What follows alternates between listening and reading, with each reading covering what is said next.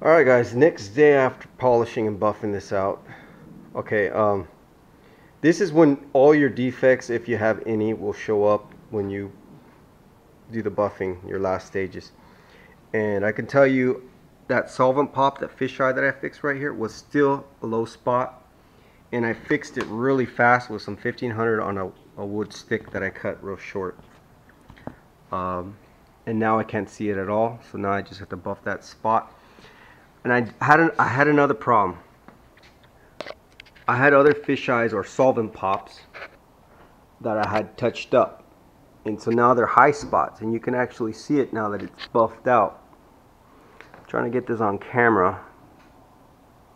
You might not be able to see it on camera because you kind of have to look at it at an angle, but there's one right here. Right where my fingers, right above there. I don't know if you can see it, but it's right above my finger and it's a high spot. You can see a little ring around it. A little halo ring, I guess you can say. There's one there. And there's a couple, one here, one here, one here. They're very faint ones. A couple there.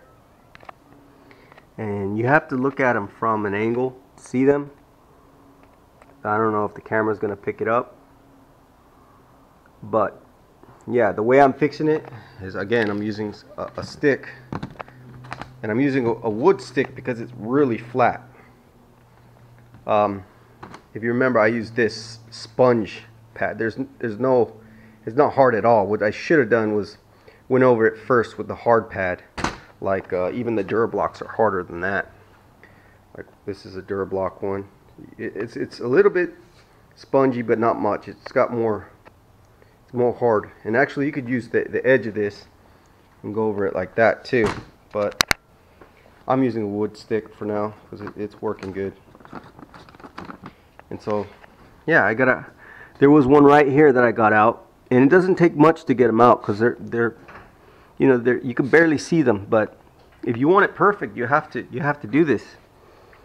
Um, or else you're gonna see them. You're gonna see a little wave a little a little dot there, you know, and it just doesn't look good. I know on the camera you probably can't see it, but with my eyes you can. It, it just looks like a little pimple. So there's one here, and they're very small, so I'm just trying to get rid of them best that I can. There's one there, and two here. Again, these were probably the touch-up spots that I did on those solvent pops, it could have even it could have even been from the first time that I did it when I first clear coated it. So yeah, that's what I'm doing right now. You can see a couple here. I don't know if you can see it on camera, but there's one here, really small, and one here. So. All right after wiping it off, now you can see the little halo. I don't know if it's a, it's not really a halo ring, but you can see it's a little dark spot right there and one right there. That is, it's dark there because it's a high spot. And so you just have to keep going over it until it's flat. I looked on video, there wasn't too many videos on this on YouTube I guess usually people that have fisheye, they only have one or two. I had quite a bit the first time, and I tried to clear over it, but I did go 1,000, but you know, even though I didn't, I went 1,000, it still had some spots where I missed, where I didn't do it enough. So, I think that's just what it is. It's from when I first cleared the car, and I had solvent pops, and I tried to fix them. I mean, I had hundreds of them and then I had to sand it back down but when I was sanding it back down I didn't get them all. There was still a few that I missed.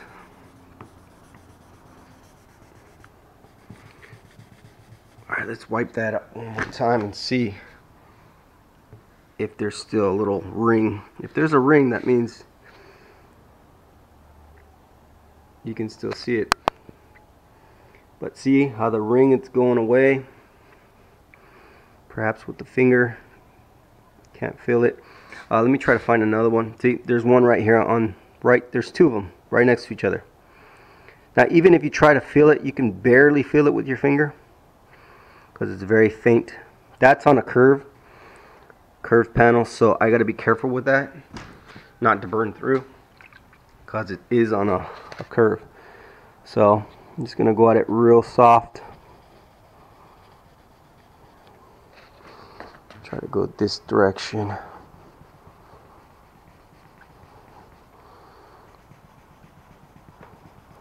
So I guess that's one good thing about black is if you don't have it perfect, it's going to show you. It's going to stick out.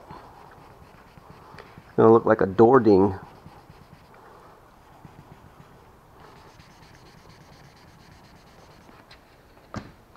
Which is good because I can go around and fix it.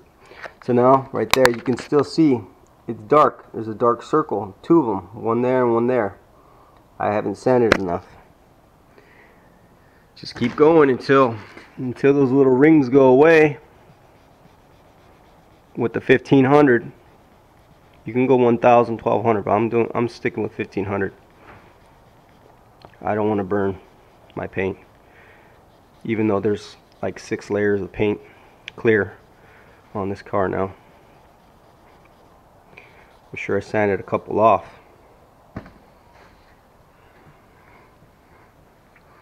okay if you can see it at an angle, you're going to see it when you buff it. So keep going. I can still see it.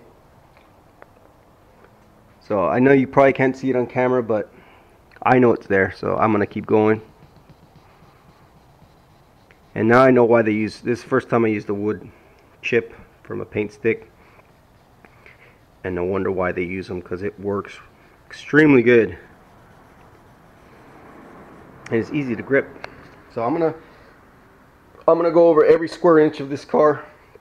Any high spots like that, I will be fixing. Um, I have I have a little tiny little ding there that I missed. See, I tell you, black shows everything. Ever so small. But I can see it now that it's all glossed up. Oh well. Again, this is a daily driver. It's not going to be a show car. If it was a show car, probably get dinged a point or two for having a little ding there. Alright guys, as you can see, I was finished, but I want it perfect, so I had to go and hit up several little high spots in the clear coat.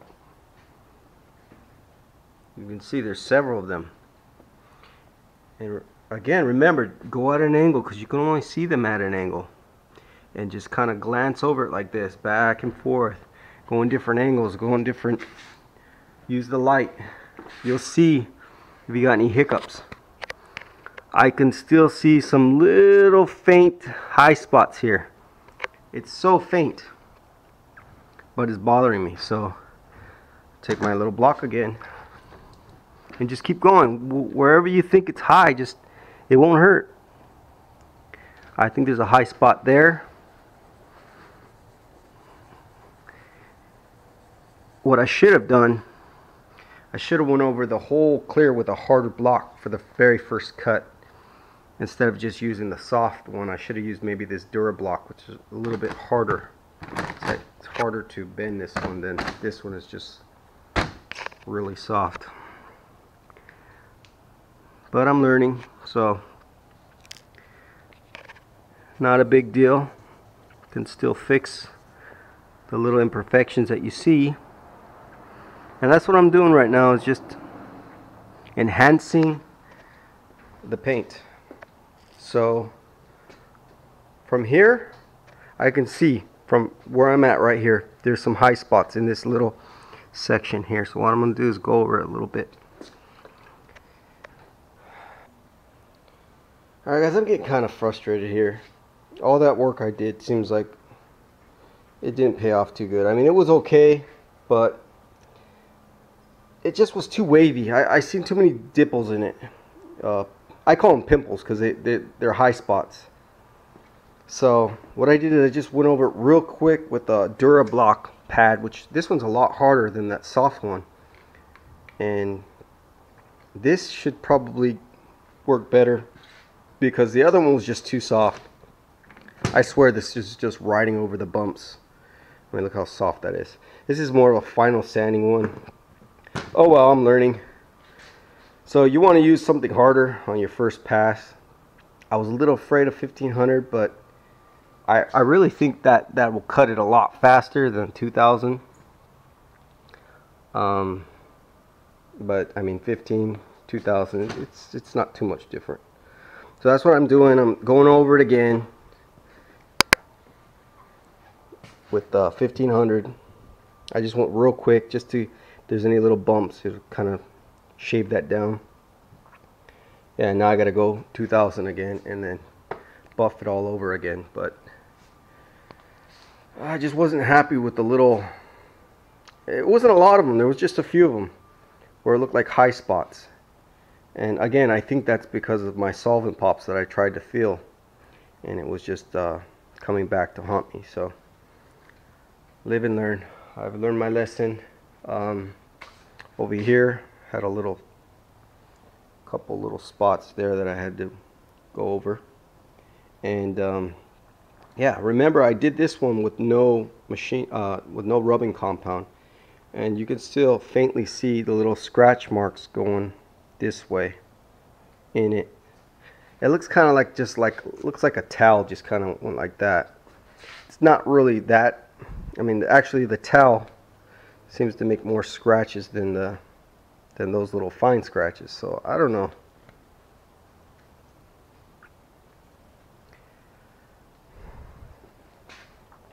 Looks pretty good though. Yeah, I got to do this all over again.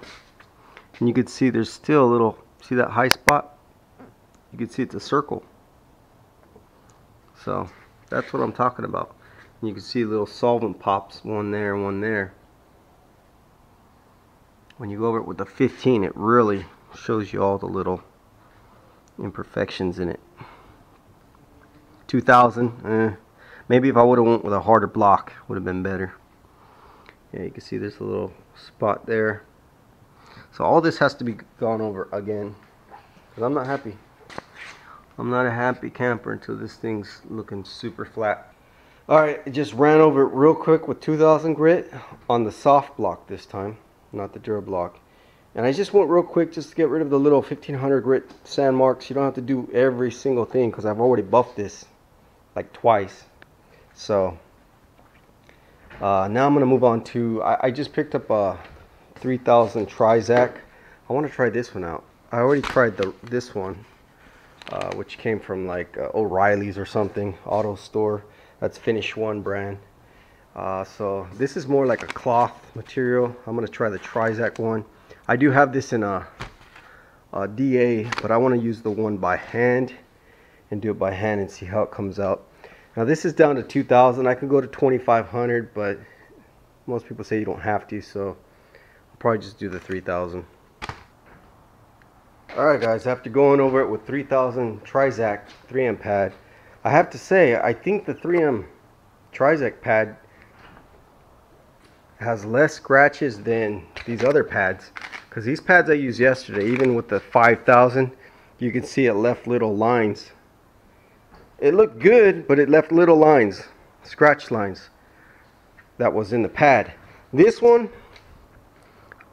you know, I can't really see the lines, but I'd have to buff it to find out.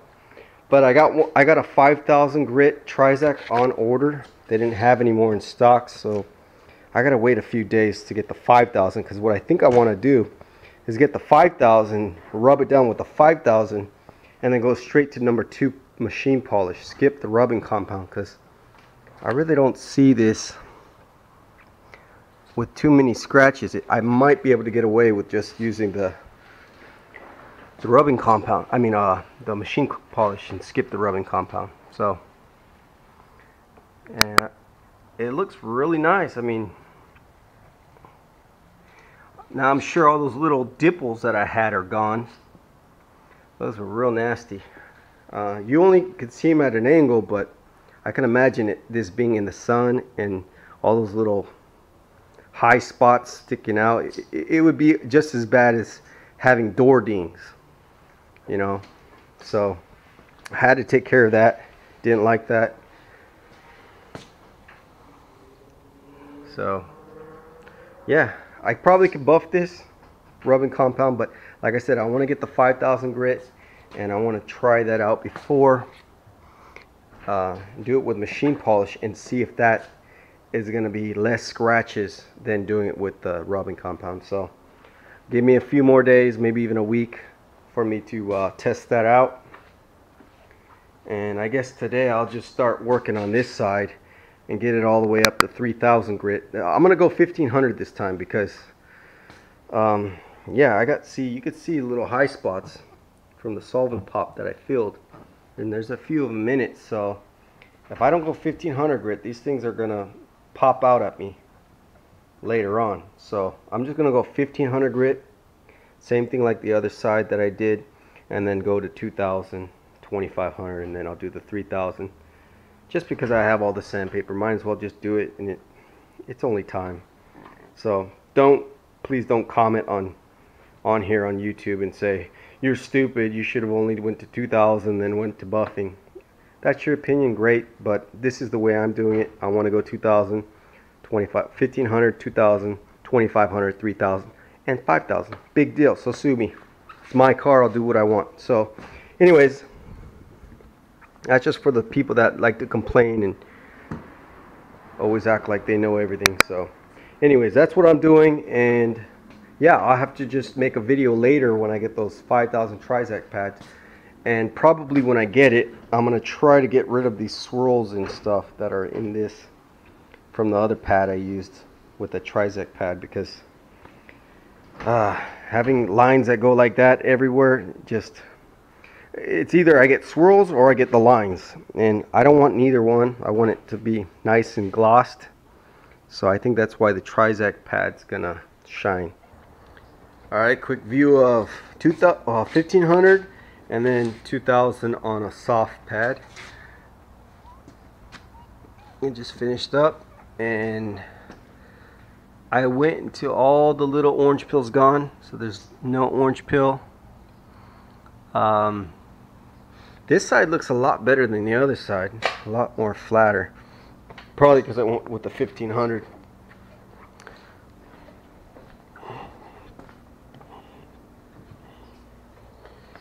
Yeah, but this one's been 3000 Trizact. So now I'm going to hit the 3000 on this side. 3M Trizact pad and I'll do the top and then I'm pretty much done here. All I have to do is wait up for the uh, 5000 Trizact, uh, polish that out and then it's good to buff. I just did this whole section with 3000 I stopped right here. You can even see the line where I stopped. Right there. So from there up it's it's uh 2000